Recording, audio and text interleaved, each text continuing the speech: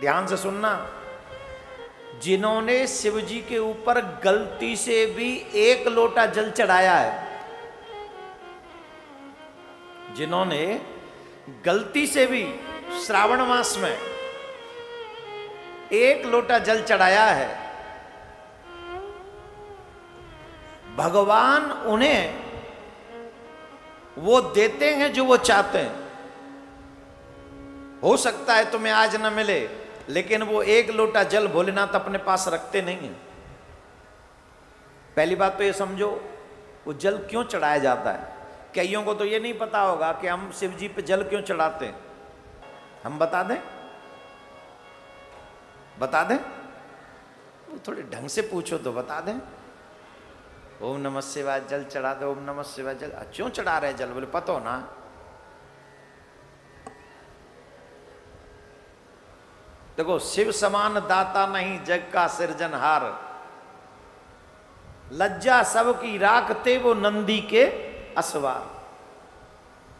उन जैसा दाता नहीं है।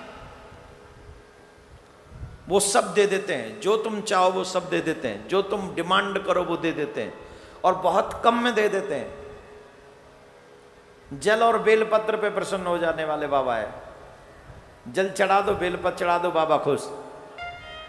बेलपत्र चढ़ाने का लाभ जानते हो कितना पुण्य है? कोटि कन्या, एक करोड़ कन्या दान के बराबर फल मिलता है जब हम एक बेलपत्र शिव को चढ़ाते हैं। अब सोचिए, लेकिन हमारे सनातनी भाई बहनों को, बच्चों को ये बात कोई बताता नहीं, बुज़ुर्ग ये बात सिखाते नहीं शिव जी पे अभिषेक क्यों किया जाता है ये समझाते नहीं। मैं आप सबसे फिर कहूँगा, निवेदन करूँगा, पूरे श्रावण मास में अधिक कुछ ना कर सको तो अपने बच्चों से यही कहो कि भैया एक लोटा जल चढ़ा दो, नित्य जाकर शिव जी पर। अगर आसपास मंदिर ना हो तो बोले, घर में शिव जी होंगे, उन पे जल चढ़ा दो।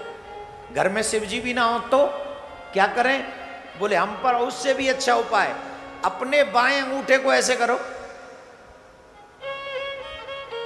ए अलसी थक गए? अपने बाएँ अंगूठा ऐसे करो। हाथ में लोटा लो जल का और इस अंगूठे को शिवलिंग समझो और इस पे जल चढ़ा दो। जो मंदिर में शिवलिंग जल चढ़ाने से फल देगा, वही अंगूठे में शिवलिंग का भाव रखकर अगर तुम जल चढ़ा देते हो तुम्हें वही फल प्राप्त होगा। अब बताओ, इससे भी सरल कोई उपाय है? है। अगर तुमसे इतना भी नहीं हो ना तो फिर तो यूँ ही समझो कि तुमको भगवान ने नरक के लिए बनाया है। तुम्हारे पास और कोई ऑप्शन नहीं।